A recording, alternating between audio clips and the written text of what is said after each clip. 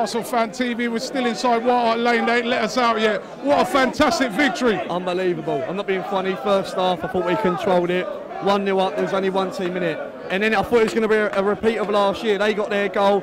Uh, what- I thought they were the better team until about 65 minutes. The goal, to be fair, come out of not much. Um, but what a goal. And as soon as we went 2 1 up, it was the exact same. We were just in control again. And a guy that's been written off by a lot of us. He, I must admit, even before the game, when I saw him that he was on the team sheet, I was like, ah, he was the man of the match tonight. Mathieu Flamini everywhere. to be fair, it was exactly like uh, when he made his second debut against Leeds. He, he's one player that shows grit. Okay, might not be not technically gifted, and I've slagged him off enough on here, so I don't want to sound like a hypocrite, but he's a cult hero now at half, so I'm glad we've won here. I hope they set us out of this Carsey now. And how good is it to win here? It's the first time I've seen us win here.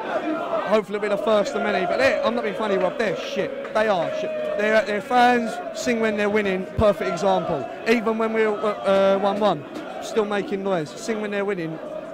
Prime example. Brilliant. It's, it's a great, it's a great, it's a great win. The, Matthew Spurs, Spurs one, Mathieu Flamini two. Brilliant, fucking And the brilliant. second goal.